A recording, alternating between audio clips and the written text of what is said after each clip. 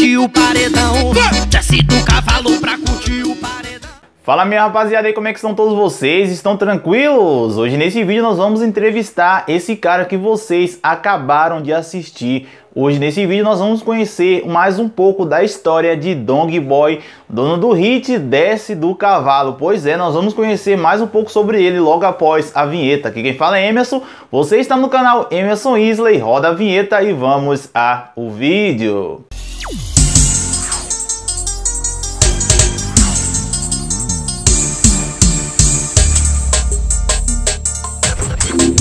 Pois é, rapaziada, devido à quarentena aí, eu resolvi fazer esse modelo de vídeo aqui que eu vou mostrar para vocês. Eu espero que vocês apoiem aí a nova ideia com o seu like. Então a meta nesse vídeo aqui é de 800 likes. Então, como eu falei, nós vamos entrevistar Dong Boy, dono do hit Desce do Cavalo. Dong Boy, nós queremos saber qual é o seu nome verdadeiro, a sua idade, de quem você é filho e de que cidade você é. Fala aí um pouco pra gente. E aí rapaziada, vamos que vamos, ó. É, meu nome é Carlos Nery Rocha, hoje conhecido como Dong Boy, né, o nome de trabalho, o apelido também que todos me chamam.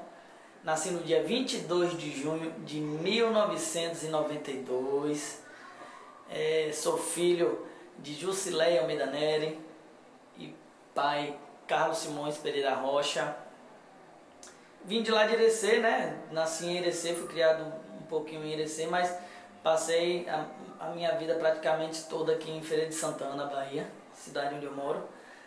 Também eu sou uma mistura de Irecê com Feira de Santana, um ireceferense.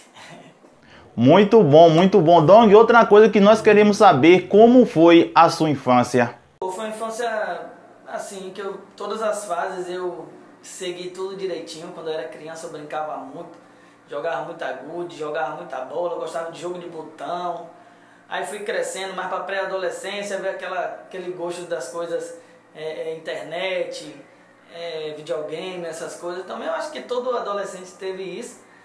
Só que na minha adolescência eu gostava muito de futebol, numa escolinha. Vou até contar essa história para vocês. Aí, né, eu, eu comecei a fazer uma aula de violão. Né? Comecei a fazer uma aula de violão e minha avó não me queria me colocar no futebol. Eu falei, não, eu quero futebol, não, me bata nada no violão e tal. Aí eu peguei e falei, não, vamos tomar essa aula de violão. Aí o que foi eu fiz? No primeiro mês eu fui, fui tudo bonitinho, aprendi as notas maiores, todinhas as menores. Aí eu com violão em casa, no segundo mês já comecei a não ir, pegava o dinheiro. Oh meu Deus, Deus, me perdoe, mas pegava o dinheiro e jogar videogame. Mas quando chegava em casa, eu botava na internet. Quando ia ver, tava tocando as músicas, né? Que eram as músicas da igreja lá que minha avó gostava. E elas, o menino tá aprendendo mesmo. Isso passou um mês, passou dois, no terceiro mês, rapaz, o professor não inventou de ligar pra minha avó pra procurar saber o que era que tava acontecendo. E eu morava com minha avó, né, nessa época. Aí quando ligou, falou, rapaz, Carlos não tá vindo mais aqui pro, pra escola, o que foi? Ele desistiu. Aí minha avó já e falou, não, ele tá indo. Ele, pois ele não tá vindo não, aqui ele não, não apareceu já tem quase três meses. Eu nunca levei uma surra tão gostosa na minha vida. Mas isso daí, minha avó depois perguntou, meu filho, vem cá, e como é que tu tava conseguindo tocar as músicas? Eu falei, ô oh, meu avô, a senhora botou internet pra mim, ah, então já que tem internet não precisa de dinheiro de aula não. Aí eu pedi pra me colocar numa escolinha de futebol, joguei futebol, mas minha infância, resumindo, foi isso aí, velho, foi isso aí.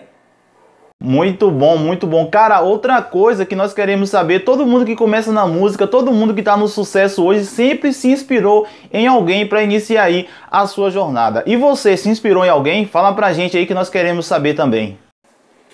A minha maior inspiração na música é, é um cara que, que eu acho a história dele também muito massa e hoje ele tá lá em cima, fora que eu admiro muito ele também, o trabalho que ele canta, também toca instrumento, guitarrista também, que eu também gosto bastante disso, também viajo muito, já fui em shows dele, já que achei excepcional, é o Gustavo Lima, é o embaixador, é quem me inspira bastante, vejo sempre as lives nesse momento, né, que está tendo muita live, vejo as lives, venho acompanhando também o trabalho musical dele, o trabalho dele como cantor.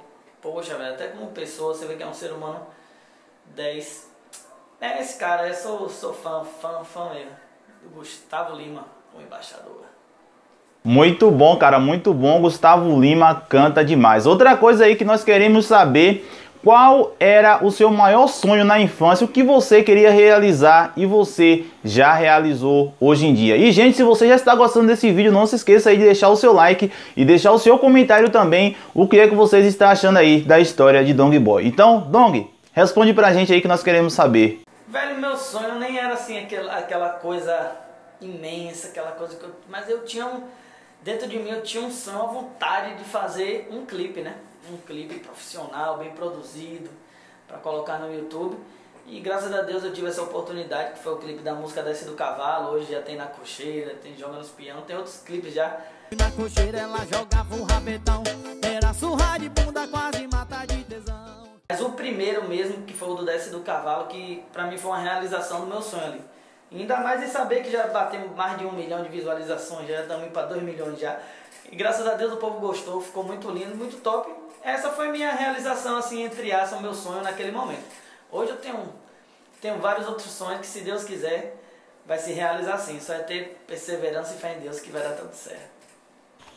E Dong, outra coisa também que eu tinha curiosidade de lhe perguntar e estou lhe perguntando nesse exato momento, o que lhe deixa mais feliz hoje depois do sucesso? Porque nós sabemos que sua música aí já foi regravada por diversos artistas aí bastante conhecidos no Brasil, como o Xande Avião, Saia Rodada, Os Barões da Pisadinha, entre outros. Então fala pra gente aí o que te deixa mais feliz na atualidade. O que me deixa ainda mais feliz, assim, é o, é o fato de você, quando eu tinha ali minha, adolescência, minha pré-adolescência ali. Meu fundo musical na época era Saia Rodada, gostava muito Cavaleiros do Forró. Essa galera do forró assim, eu nunca nem sonhava em tocar. E você vê essa música sendo, a sua música sendo tocada por esses grandes artistas, eles lhe marcando, falando seu nome lá no CD, isso daí é muito gratificante mesmo. Isso daí só tenho que agradecer muito a Deus, os parceiros também, o Wesley Safadão, é, Saia Rodada, Chão de Avião, galera do Forrozão toda colocou aí no repertório, Barões da Pisadinha, faz muito sucesso também com a música. Graças a Deus é uma música que vem rendendo, rendendo, rendendo, rendendo demais mesmo, essa desce do cavalo. Até hoje, meu irmão, nunca vi uma música para não sair do repertório do povo não. Já vamos fazer o quê? Uns três anos de música já, praticamente. E a música continua no repertório da galera. Isso é muito gratificante. Muito bom, cara. Dong, você tá de parabéns, cara. Eu só queria lhe agradecer mesmo de coração por você ter cedido essa entrevista pra gente aqui do canal Emerson Weasley e de qualquer maneira você confiar também em nosso trabalho. Fala aí um pouco também do canal Emerson Weasley aí, porque também nós queremos saber o que é que você acha do canal. Fala um pouco pra gente aí. Vou mandar também aqui um abração para meu parceiro Emerson Weasley, esse canal que é top, eu já venho acompanhando já de um bom tempo. Não deu certo na minha ida lá para São Paulo para a gente fazer essa entrevista, mas para tudo se dá um jeito e conseguimos fazer hoje aí, viu? Brigadão, se inscreve aí no canal do parceiro Emerson Weasley, que é sucesso. Quem puder também dar uma passadinha lá no canal do Dong Boy para ficar por dentro das novidades, música nova, clipes e tal, etc. É só seguir lá, se inscrever, Dong Boy Oficial, viu? Tamo junto, abração. Nossa, cara, muito obrigado, muito obrigado aí por você acompanhar o nosso canal. Eu que fico muito alegre saber que a gente estamos fazendo um trabalho aqui com responsabilidade e que vocês aí, não só o Danco, vocês também que assistem meu canal aqui constantemente, estão gostando dos conteúdos que eu estou trazendo aqui. Bom, gente, o vídeo vai ficando por aqui. Muito bom mesmo essa entrevista. Gostei de fazer essa entrevista aí com o Long Boy. Foi a primeira entrevista que eu fiz no canal aí é, desse modelo. Se você gostou desse modelo de vídeo, deixe seu comentário, porque assim eu posso estar trazendo mais aqui para vocês com outros cantores. E eu vou trazer aqui uma novidade para vocês. Em breve vai ter um super vídeo aqui, uma super produção, falando um pouco da Arrochadeira, com entrevista com diversos cantores aí que vocês talvez conheçam. Então vai vir muito top. Então, Dong, muito obrigado, cara. Que Deus te abençoe e muito e muito sucesso para você. Tamo junto.